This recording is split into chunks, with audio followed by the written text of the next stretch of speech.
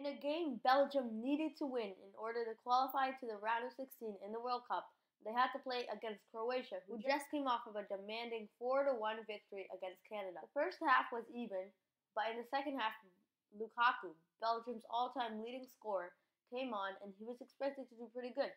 He hadn't scored in the tournament so far, but when they need him the most, he usually provides. Although today just wasn't his day. He ended up costing Belgium a spot in the final 16.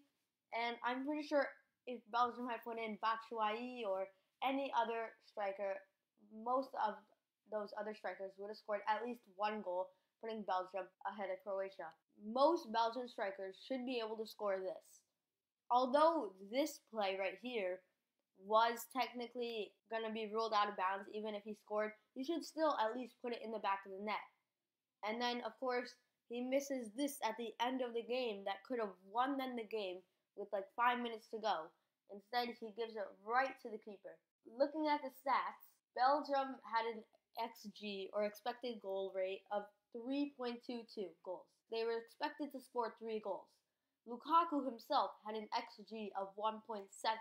That means he was expected to score two goals. And the number two seed in the whole world just got knocked out in the group stage.